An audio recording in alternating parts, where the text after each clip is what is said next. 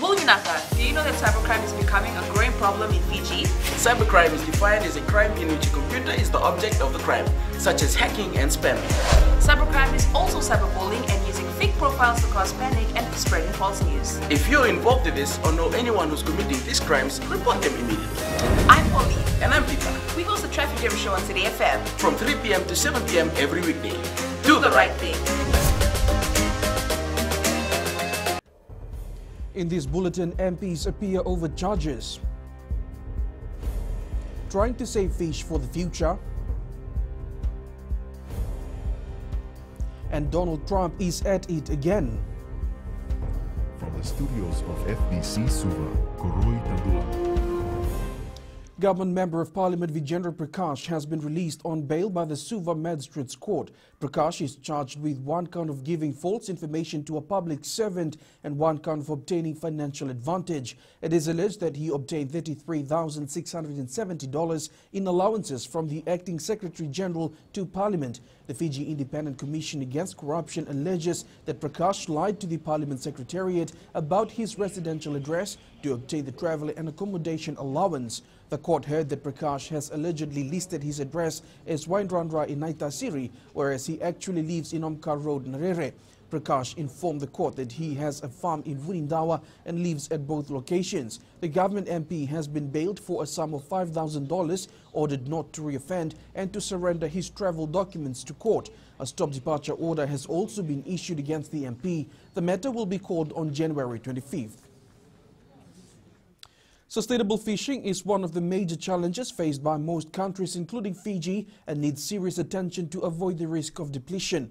Fisheries Minister Semi Koroi says Fijians need to be mindful to leave enough fish in the ocean, respecting habitats and ensuring people who depend on fishing can maintain their livelihoods. Koroi adds the impacts of climate change, land-based pollution and economic demand remain a grave concern and fit for purpose legislation to support activities geared towards the development of a sustainable coastal seafood platform. These legislative provisions will support and guide the need for science, enforcement, management measure, and economic progress in a way that recognizes sustainable development goals. The Fiji Roads Authority is concerned with the repeated acts of vandalism on assets owned by contractors. Subcontractor A. Kumar Bulldozing had heavy machinery severely vandalized on the Korotumbu Road in Rakiraki last week. The FRA says fuel was also siphoned from one of the plants. The subcontractor was undertaking urgent work along the Korotumbu Road, which was to be completed within two weeks. These works will now be severely delayed due to the act of vandalism. The matter has been reported to police. The Society for the Prevention of Cruelty to Animals have raised concerns with the lack of awareness on treatment of animals in the country. Since January, the association received more than 60 reported cases of animal cruelty and have attended to more than five every day. Shelter Clinic Manager Shanil Narayan says they have taken an initiative to organize community programs and awareness through social media. However, this is not enough. Because we have also been doing a lot of education and awareness through our social media, uh, our clients coming into SPC and outreach clinics. We have been speaking with people. So before people actually didn't know where to go and where to report these cases, now they actually know that you can report it with SPCA. So probably that's one of the reasons the cases have gone up. The awareness to have an inclusive community will now be more robust following the launch of the Fiji Council for People with Disabilities website together with the Directory of Service Providers. While officiating at the launch, Deputy New Zealand High Commissioner to Fiji, Michelle Podmore, says this will also get all organizations under the FNCPD, the stakeholders and communities to learn more about the rights of persons with disabilities and raise awareness on the issues faced by them. Podmore says this will also allow people with disabilities to access information, learning processes and other basic social services. She says the new website will include the relevant information of the 33 disability organizations registered under FNCPD. So this is essentially to make sure that the whole range of services uh, are accessible for people with disabilities and be that or service providers. And yeah, there are two, two aspects to this project. One is the publishing of the disability sector resource directly, and the second is uh, the the website of the National Council for Persons with Disabilities. Up ahead, National Reps pleases Baber. And Labasa wary of Suva.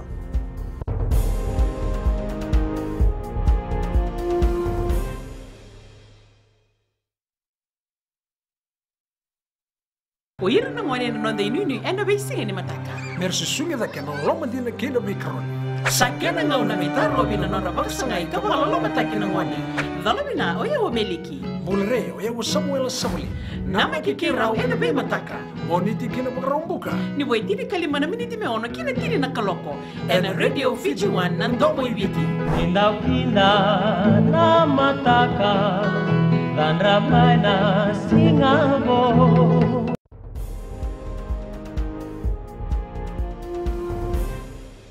people of Taveuni yesterday witnessed some exhilarating rugby with current national reps and members of the National Sevens training squad displaying their skills at the 13th Fiji Bitter Wairiki Sevens. Present to witness and assess the performance is National Sevens coach Gareth Baber, who flew into Taveuni yesterday. This is the first time Baber is scouting for talents at the Fiji Bitter Wairiki Sevens, and his presence has boosted the performance of local rugby teams. I've been pleased with, you know, things I have seen from certainly from the reps themselves and the the, tra- uh, the wider training squad. And one of the biggest things that obviously I, I look for in here is who's got the work ethic. And you know, there's not a, you know, you're not standing in the middle of Hong Kong at the moment. You're in Wairiki and you've got to do exactly the same thing, and that's what I'm looking for. The Flying Fijians may be COVID 19 free, but there's another obstacle they have to overcome before playing its first Autumn Nations Cup match on Sunday. These players will know today whether they will be cleared to travel to Scotland to face Georgia. The Flying Fijians are back to full training after two weeks in isolation. Former national captain Simon Raiwalui says there's been some good feedback from the players regarding the coaching staff. They've, the players have welcomed them uh, really well. They've uh, really good feedback on what they're what they're doing. Uh, one of the main plans for us was, uh, as a Fiji, as a rugby nation, is to get back to our DNA. What what is what we're good at. What what are our main skills, and emphasising them while growing the, all the basics as well. So that, that uh, our coaching team has bought into that. The Galaxy Hotel and Apartments Powerwise Electrical Labasa football side will be going in with high hopes in the Vodafone Fiji FACT clash against Vinsworld Suva tomorrow. Despite making a losing start, the O'Neill coached side proved their worth as they bagged two crucial wins on their home ground. Goalkeeper Aquila Mate Suva says they will go the extra mile to give their fans the win at the Subrail Park. The boys are prepared to, to deliver inside the ground, and like I said, uh, we won't take any risk. Uh, we will not underestimate Suva, and I think uh, the consistency and all the confidence level will be showing up until we play on Saturday. 32 bowlers will be part of the Suva Bowling Club Master Pairs tournament tomorrow. Top bowlers from around the country are expected to take the greens once again with the likes of Nandi Bowling Dua, Ravinesh Prasad and Kushal Pillai, Semesa Naiseruvati and others. Suva Bowling President Samuela Tukilangi says the competition will lay the platform for the young and seasoned bowlers to dominate the greens. So only the top bowlers in Fiji will be playing this weekend and playing pairs. And also I'd like to thank our sponsor. Without the sponsors nowadays, sports like uh, bowls, which is a minor sport, hardly can uh, host this kind of event.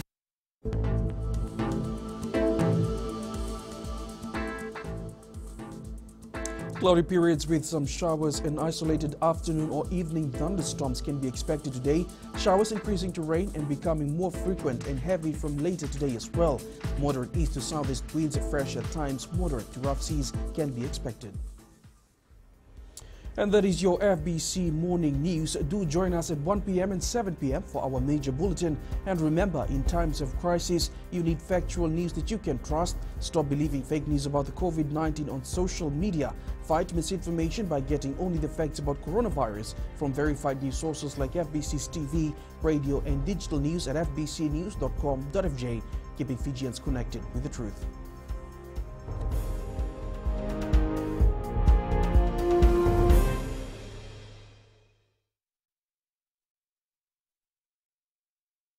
हमारे खूबसूरत देश Fiji में child abuse की घटनाएँ आए दिन बढ़ रही हैं। क्यों बच्चों का मासूम बचपन अब्यूज का शिकार हो जाता है? अपने बच्चों की सुरक्षा का खास ख्याल रखें। उनसे बातचीत करें उनके दोस्तों के बारे में जानें। आज के बच्चे देश का भविष्य है।